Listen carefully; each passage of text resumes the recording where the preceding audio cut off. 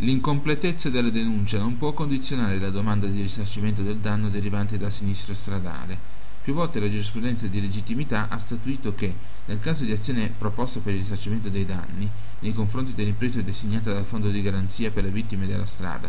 la prova che il danneggiato è tenuto a fornire che il danno sia stato effettivamente causato da veicolo non identificato può essere offerta mediante la denuncia o querela presentata contro ignoti alle competenti autorità, ma senza automatismi.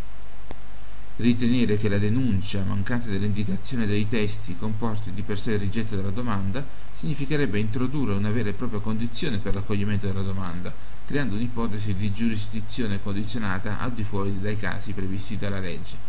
Ciò comporta anche che non è consentito pervenire a configurare a carico del danneggiato medesimo un obbligo di collaborazione eccessivo rispetto alle sue risorse che finisca con il trasformarlo in un investigatore privato o necessariamente in un querelante.